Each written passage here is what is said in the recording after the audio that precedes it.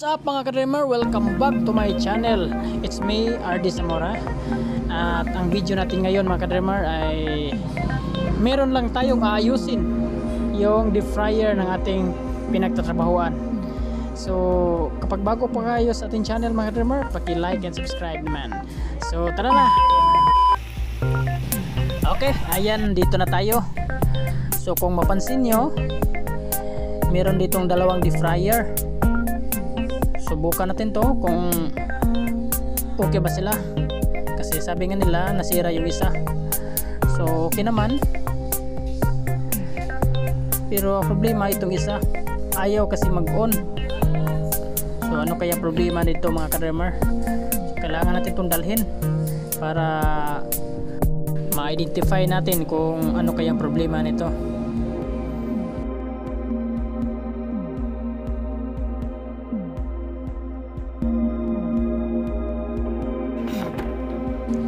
Okay, ito na mga.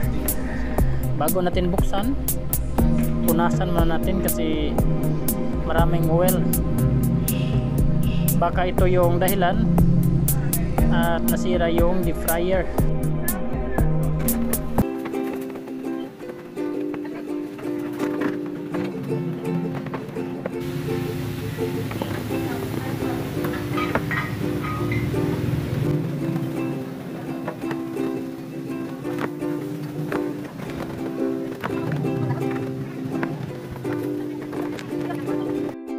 Okay, tapos na nating linisin.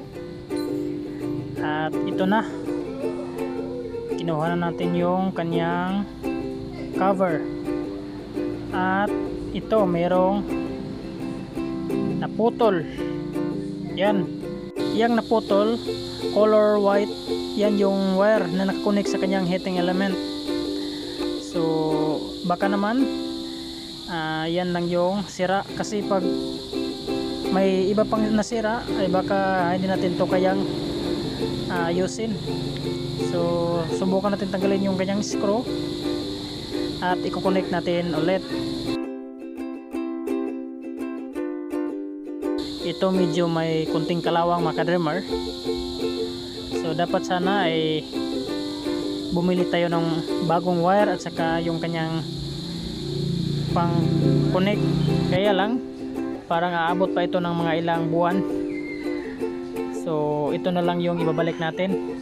Para din makasave sa gastos at saka mapakinabangan pa. Kasi pag bibili tayo ng bago nito eh magastos. Okay ayan mga dreamer bilisan nating binalik yung kanyang cover. Kasi kailangan na itong gamitin ang dami na kasing customer naghintay at walang ibang deep fryer na magamit. Kaya ito yung bilisan nating inaayos. Sana okay na to mga kadermer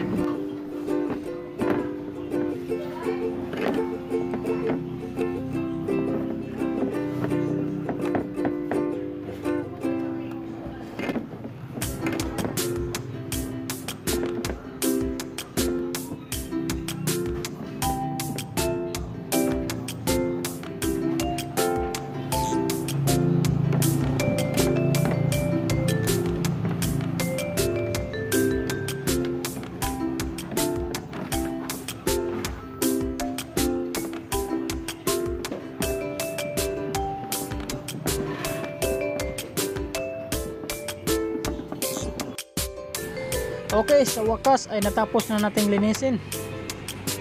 At lagyan natin to ng adapter para magkasya doon sa outlet.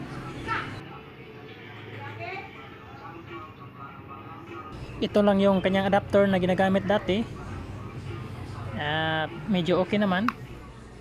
Kaya ito lang ay yung gagamitin natin.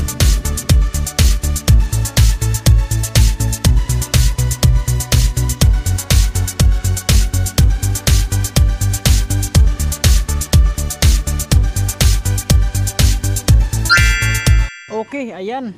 Umilaw siya mga ka-dreamer.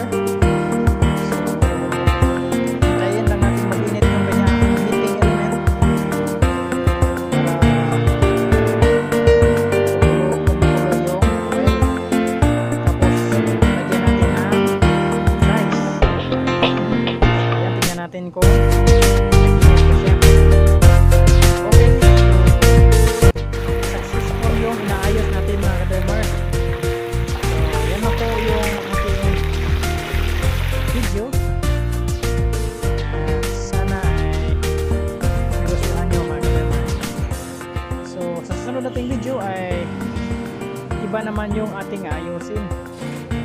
So, ito yung kanyang resulta. Yan. So, yan lang po mga ka-dermer. At maraming salamat po sa inyong panonood.